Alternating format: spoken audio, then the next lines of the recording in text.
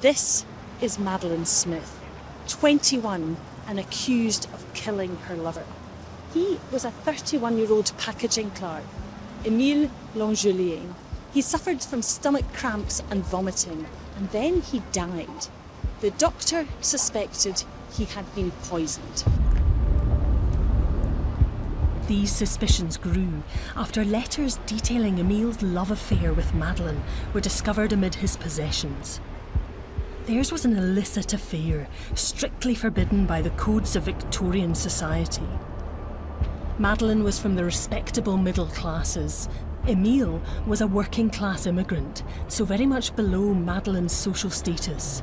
Nevertheless, they secretly saw each other for two years. Evidence for just how truly shocking their relationship was is kept here at the National Records of Scotland.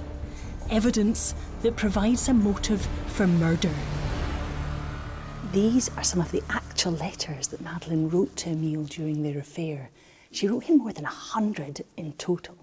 And here, in Madeleine's own hand, is evidence that their liaisons were far from innocent. Your visit of last night is over. I longed for it. How fast it passed. Dear fond Emile, I love you more and more. I am your wife, for I can never be the wife of another after our intimacy. Now, this tells us she lost her virginity to Emile and out of wedlock, something totally ruinous for a girl like Madeleine in 1850s Scotland. And she says as much. She cannot be with another man. But then Madeleine's parents arrange a marriage proposal with a considerably more acceptable prospect, a young man from Madeleine's social class. Madeleine breaks off the affair with Emile and begs for her letters back so she can destroy them. Emile refuses. Instead, he threatens to send the letters to her father unless she agrees to marry him. He's blackmailing her. Madeleine was desperate, perhaps enough to take drastic action to save herself from ruin. A post mortem examination was carried out, and an enormous quantity of arsenic was found in Emile's stomach, more than enough to kill him. Then, police discovered that Madeleine had purchased arsenic. She was arrested and charged with murder. This is one of the actual bottles of arsenic found in her possession, and it was used as evidence against her. That arsenic was freely available over the counter back then wasn't unusual. It was used as a rat poison. But Madeleine claimed she'd bought it for cosmetic purposes to improve her skin. On June the 30th, 1857, Madeleine is led into Edinburgh High Court. She pleads not guilty to the accusation of murder. But if the prosecution can prove otherwise, there's every chance she'll be hanged. The prosecution's case against Madeleine included a witness statement that Emile claimed to have met Madeleine shortly before his death and she'd made him a hot chocolate. Surely this was how Madeleine had poisoned Emile. Here you go, my love, have a hot chocolate. Might taste a bit funny, but drink up.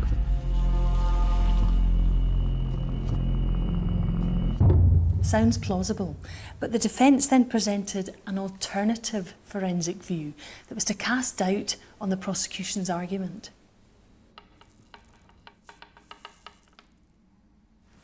This is ground up glass. It's not dissimilar to the consistency of the kind of arsenic that Madeleine would have been able to get hold of.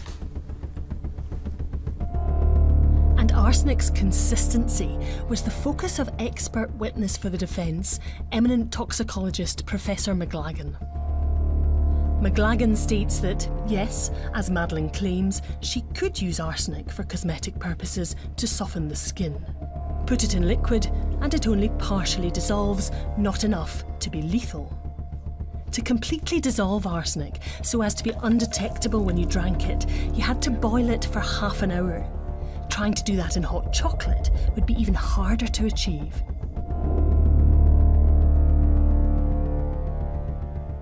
The implication being that Emile could have drunk hot chocolate made by Madeleine, but any arsenic in it would still have been solid.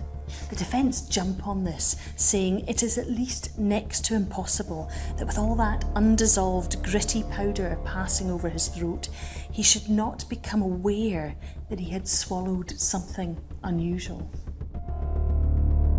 This was an early example of forensic testimony casting doubt on a prosecution's case. Subsequently, the jury would eventually deliver a verdict distinct to Scots law. Madeleine was found neither guilty nor not guilty. The verdict was not proven. The prosecution couldn't provide enough evidence to prove Madeleine's guilt. It meant she could walk free, but her reputation would be tarnished forever.